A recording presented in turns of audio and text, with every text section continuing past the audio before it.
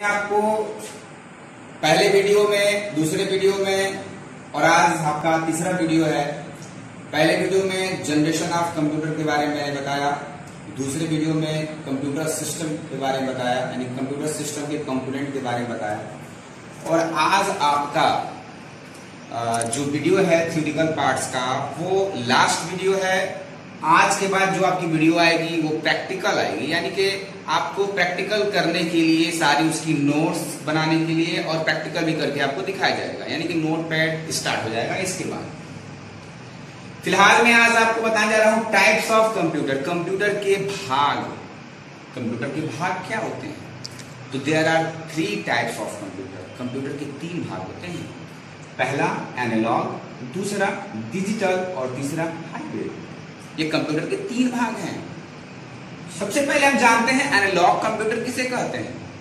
आपको पता होगा कि एनालॉग मतलब होता है अनुमान लगाना कंप्यूटर मतलब संगणक, यानी कि ऐसा कैलकुलेशन मशीन जो केवल अनुमान लगाता है, कोई कंफर्म वैल्यू शो नहीं करता उससे हम लोग एनालॉग कहते हैं। यानी कि वह कंप्यूटर जो केवल फ़िज़िकल क्वांटिटी को शो करे, वो एनालॉग कंप्यूटर है। इस कंप्यूटर का प्रयोग हम ज़्यादातर चिकित्सा के क्षेत्र में करते हैं। यानी कि ज़्यादातर हम इसे मेडिकल साइंस में प्रयोग करते हैं। एग्ज़ाम्पल के तौर पर थर्मामीटर मशीन का नाम सुना होगा जो बुखार बुखार नापती है। प्रेशर मशीन का नाम सुना होगा आपने। ये सारी जो मशीनें हैं, वो एनालॉग कंप्यूटर के अंतर्गत आती हैं, जिनसे केवल अनुमान लगाया जा सकता है। ईसीजी मशीन का भी नाम आपने सुना होगा, जिससे हम दिल की धड़कन की बारे में जांचते हैं कि क्या हमारे दिल का क्या प्रेशर है क्या अनुमान है क्या ए, उसकी कंपन कैपेसिटी है। इसी ईसीजी मशीन तो सारे कंप्यूटर एनालॉग कंप्यूटर कहलाते जो केवल अनुमान लगाए कोई कंफर्म वैल्यू शो ना करे। दूसरा हमारा ऑप्शन है डिजिटल कंप्यूटर और डिजिटल कंप्यूटर क्या होता है? डिजिटल कंप्यूटर वह कंप्यूटर होता है जो कंफर्म वैल्यू शो करे। यानी कि ज़ीरो और वन, यानी कि जो कंफर्म वैल्यू शो करे, वो डिजिटल कंप्यूटर होता है। अगला है हमारा हाइब्रिड कंप्यूटर हाइब्रिड कंप्यूटर क्या होता है? जो कंप्यूटर अनुमान भी लगाता है और कंफर्म वैल्यू भी शो करता है। दोनों का काम करे। अनुमान भी लगाए और कंफर्म वैल्यू भी शो करे, वो कहलाती है हाइब्रिड कंप्यूटर जैसे मैं आपको यहाँ पे बताया था, यहाँ पे एक ईसीजी e मशीन का ज़िक्र किया था, मैं यहाँ भी उस मशीन का ज़िक्र कर रहा हूँ ईसीजी e अब बोला था, सर, आपने तो एनालॉग है। तो मैं बताऊँ कि वो बहुत सारे ऐसी मशीनें जो केवल एनालॉग में आती हैं और बहुत सारी ऐसी मशीनें जो एनालॉग डिजिटल दोनों में आती हैं। जैसे कि आप एग्ज़ाम्पल के तौर पर देख लीजिए। ये जो आप घड़ी देख रहे हैं, ये घड़ी जो है वो एनालॉग कहलाएगी। क्या कहलाएगी?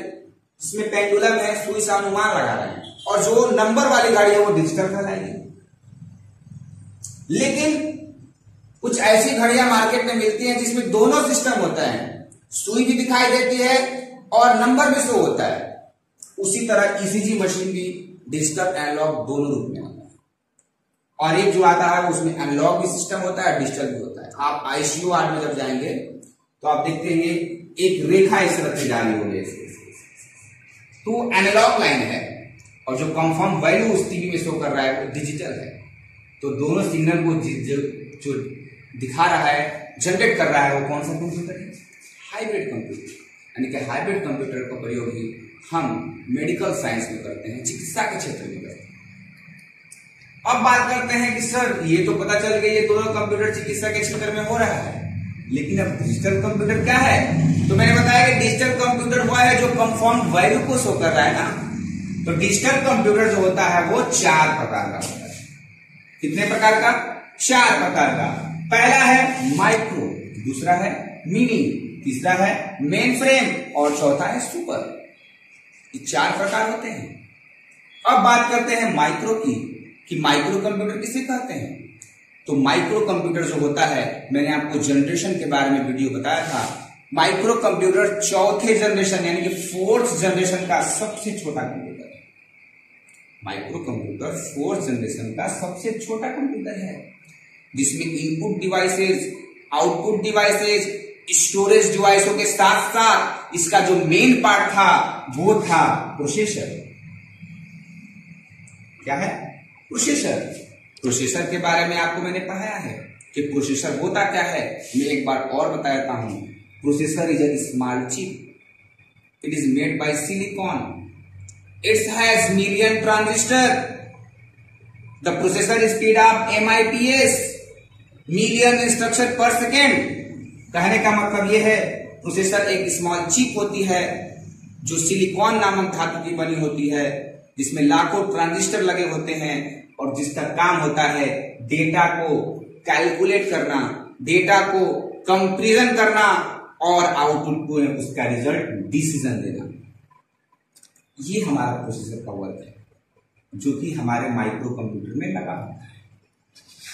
माइक्रो कंप्यूटर के अंतर्गत कौन कौन से कंप्यूटर आते हैं?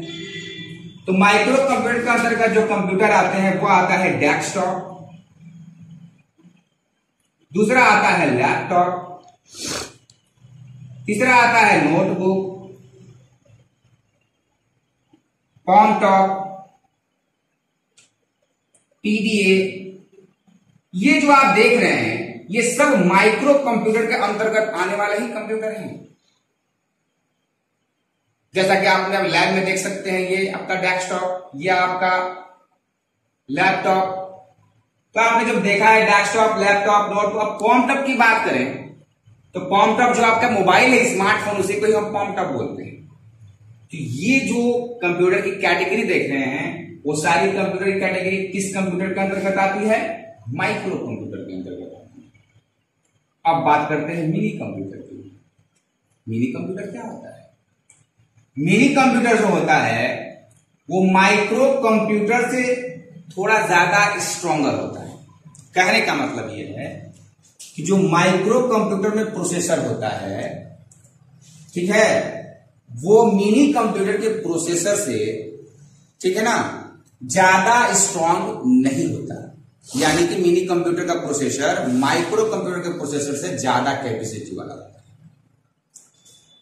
इस कंप्यूटर का प्रयोग डिज़ाइनिंग कंपनियों में किया जाता है। किस काम के लिए?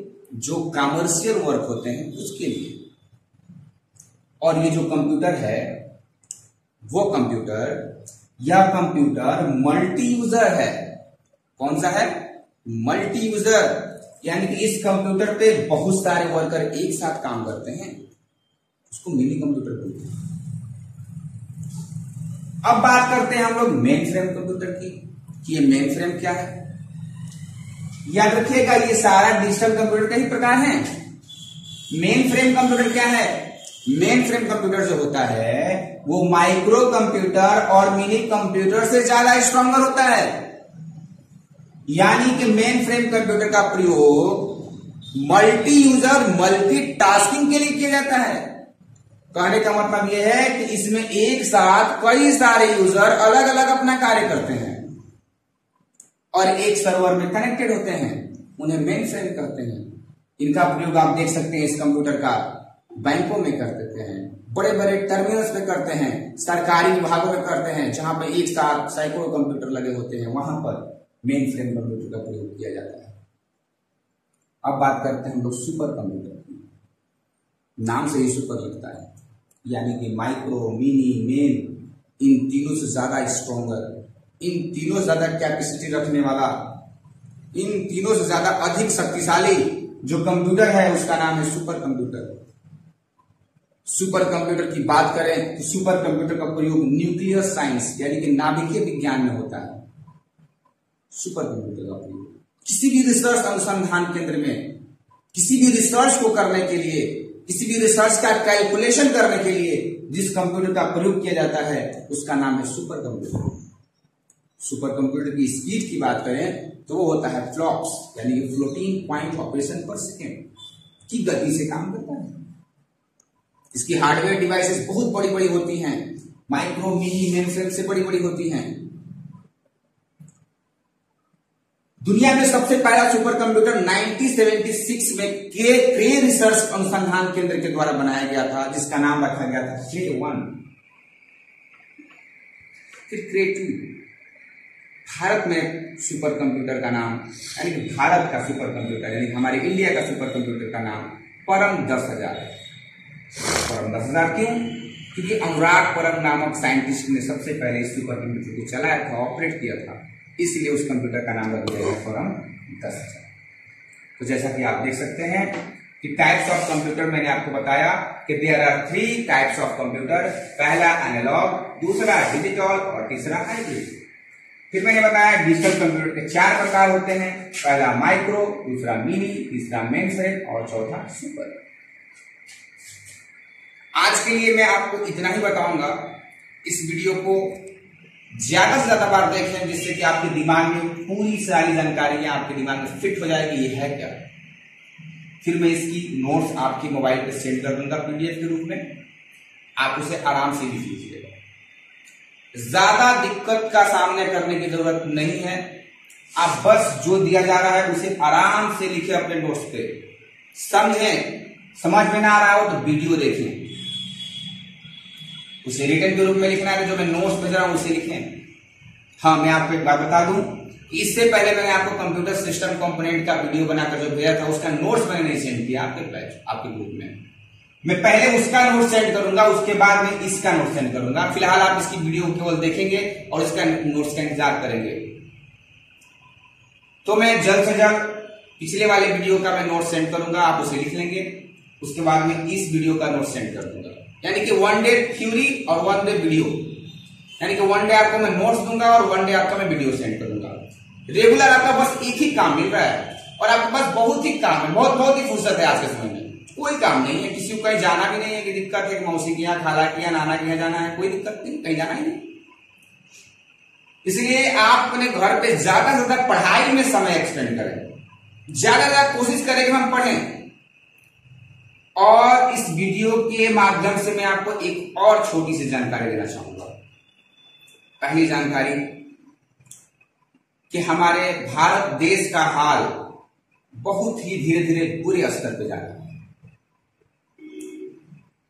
वो तो खुदा की बहुत बड़ी करिश्मा है कि हमारे जिला बलिया में किसी भी तरह की केस कोविड नाइन्टीन की नहीं आई, यानी कोरोना वायरस पे नहीं आई। इसलिए मैं खुदा का बहुत बड़ा शुक्रगुजार हूँ। और खुदा से मैं यही दुआ करता हूँ कि आगे भी इस तरह की कोई केस ना आए। लेकिन लगभग हमारे इंस्टीट्यूट में 150 बच्चे हैं। मैं उन 150 बच्चों से दरख्वास्त करना चाहूँगा कि जो भारत सरकार के द्वारा लॉकडाउन लगाया गया है, उसका ज़रूर आप पालन करें। बिना मतलब खेतों में जाना, बिना मतलब दस दोस्तों से मिलना, बिना मतलब एक साथ जुट कर गप्पे लड़ाना। हम तो लॉकडाउन में ही है। ऐसा बस फील करना कि लॉकडाउन में है और सारा लॉकडाउन किसी को ना देखते हुए आप उल्लंघन करना। यानी कि गवर्नमेंट तो अपना काम कर रही है, लेकिन पब्लिक अपना काम नहीं कर रही है। इस बात का ज़रूर हमें ध्यान देना है। इसलिए गवर्नमेंट जो कार्य कर रही है, वो हमारे लिए कर रही है, ना कि अपने लिए कर रही है। तो हमें लॉकडाउन का पालन करना है। और पूरी कोशिश कर रहे हैं कि तीन मई तक का जो डेट मिला है, उसमें ही सब कुछ क्लियर हो जाए, और चार मई से लोग अपना अपना कार्य करना शुरू कर दें। एक कारण है लॉकडाउन बढ़ने का। आप इक्कीस दिन लॉकडाउन में रहें, उम्मीद थी कि 16 तारीख से 15 तारीख से हमारे मार्केट खुल जाएँगे, हमारे स्कूल खुल जाएँगे। क्यों नहीं खुले? ना खुलने का कारण हमने सही तरह से लॉकडाउन का पालन नहीं किया। और वही स्थिति बन जाएगी जब तीन मई तक हम लॉकडाउन का पालन वही स्थिति से नहीं करेंगे। फिर तीन मई के बाद फिर बढ़ जाएगा।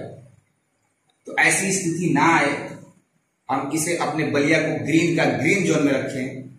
यानी कि यहाँ पर एक भी केस ना रहे तो उम्मीद है कि हम जल्द ही अपने स्कूलों को, अपने कोचिंगों को, अपने छोटे मोटे कार्य को, अपने बिज़नेस को, अपने किसी भी तरह के सर्विस को कर सकते हैं। तो हमारी बातों को ज़रूर माने, अपने फैमिली के सारे बड़ों का बात माने। जो आपकी फैमिली में इस बात को नहीं मान रहे, उन्हें भी आप समझाएँ, क्योंकि कभी कभी छोटे भी बहुत बड़ी बड़ी बातें कर देते हैं और बड़ों को समझ में आ जाती है। आज के लिए इतना ही, फिर अगले वीडियो में मिलेंगे, तब तक के लिए गुड बाय।